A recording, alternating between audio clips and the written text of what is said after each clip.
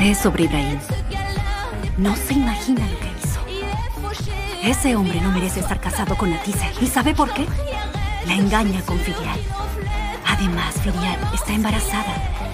Y decidí que se lo diré a la sultana Atise. Sultana, la madre sultana debe estar tranquila. Ya lo sé, Taller. Ahora descanse, madre. Quiero que se relaje y duerma. Será lo mejor. Y no se enfade. La India solo puede empeorar todo.